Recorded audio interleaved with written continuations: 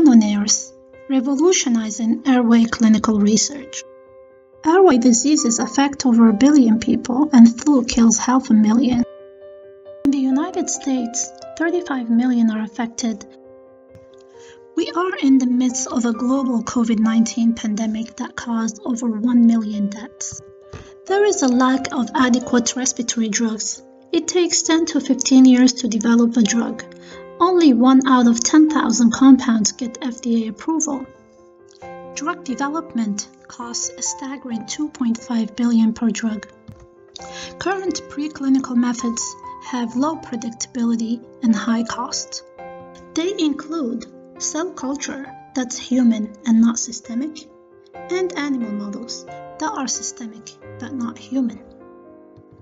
There is an unmet need for human and systemic models. Our solution is NanoNares, an organ-on-chip technology for respiratory diseases. In NanoNares, cells are collected from a nasal cavity. They are loaded with other cells of interest in a microfluidic device. This device is assembled, and cells are grown in a standard cell culture incubator. Cell-on-cell -cell interactions can be visualized by imaging. Our competitive advantage include multicellular system close to in vivo, easy access to nasal cells, and multiple disease applications.